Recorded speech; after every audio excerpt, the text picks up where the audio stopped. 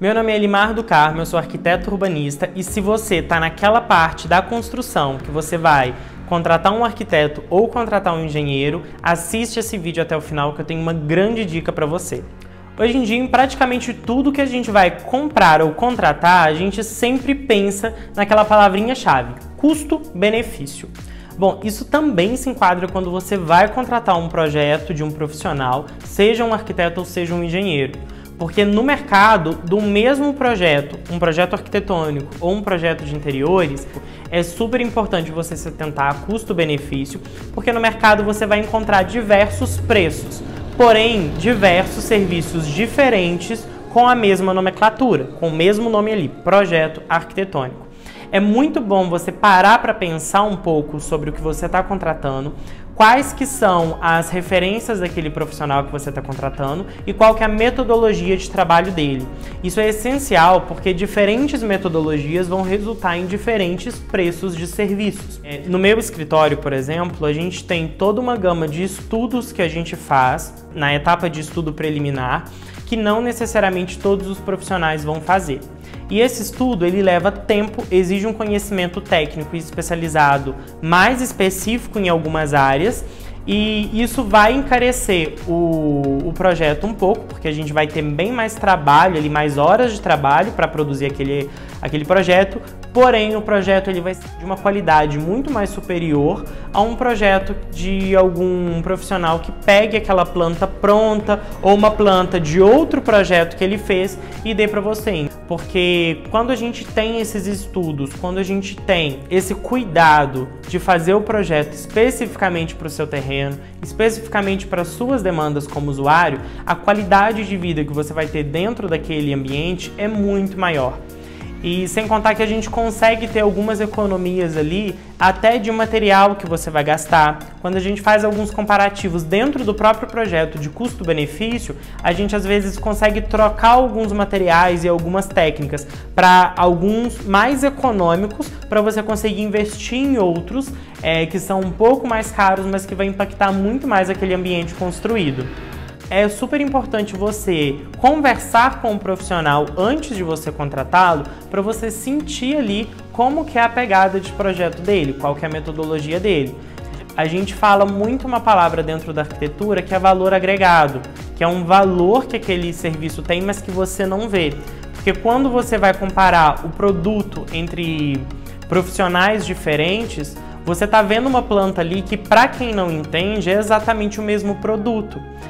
Só que o valor agregado que a gente tem em qualidade de estudo, em qualidade até de conhecimento técnico do profissional, pode impactar ali tanto a parte da obra quanto a qualidade da sua vida quando você estiver morando naquele espaço ou frequentando aquele espaço, que a gente não percebe ali na hora de ver o produto entregue. Eu só queria fazer esse apelo mesmo, porque eu vejo que no mercado, infelizmente, a gente ainda tem diferentes tipos de projetos sendo feitos e muitas das vezes projetos que não são feitos para o cliente, eles são cópias. É, eu chamo isso de carimbo. Eles, você pega uma casa, um desenho pronto de uma casa de um lote 10 por 20 com dois quartos e uma suíte. E quando chega um cliente pedindo uma casa de dois quartos e uma suíte com um lote 10 por 20, você pega aquela casa e carimba no lote dele. É um Ctrl C, Ctrl V. O que pode trazer diversos problemas que só são é, visualizados, que só são sentidos depois que já é tarde demais, depois que a sua obra já está até construída e você já está dentro dela e não tem muito mais o que fazer, porque para fazer as alterações ali você já vai gastar muito mais dinheiro do que você ter contratado um projeto de um profissional melhor para conseguir fazer esse espaço mais otimizado. Quando você tem na mesma cidade, às vezes no mesmo bairro, dois lotes do mesmo tamanho que tem a mesma demanda de casa, Porém, um lote tem o norte para um lado e o outro lote fica do outro lado da rua com o norte para o outro lado. Se você construir nesses dois lotes a mesma casa com a mesma planta, você vai ter a insolação completamente oposta. Então, se uma das casas os ambientes são bem iluminados, mais arejados e a incidência solar é propositalmente feita para, por exemplo, é, você está ali acordando numa manhã e o sol não tá batendo na sua cara, quando você tá assistindo uma TV no sofá da sala, o sol não tá batendo na TV e não deixando você assistir por causa do reflexo que dá, na outra casa isso vai acontecer, porque o sol ele tá de um lado oposto. Então, consequentemente, todas as aberturas ali vão estar tá opostas e a incidência solar vai ser o oposto da casa. É, esse é um exemplo muito bom e muito interessante para você ver que não precisa nem mudar muito ali de uma cidade para outra, de mudar de um lado da cidade para o outro. Só a parte de um lote ele está um pouco deslocado, essa insolação vai mudar. E isso no projeto arquitetônico tem que ser levado em conta. Se você carimba um projeto pronto no outro, não vai ser tão legal. E isso também serve de exemplo para as pessoas que vão na internet, pegam plantas prontas para não precisar contratar um profissional para construir a sua casa.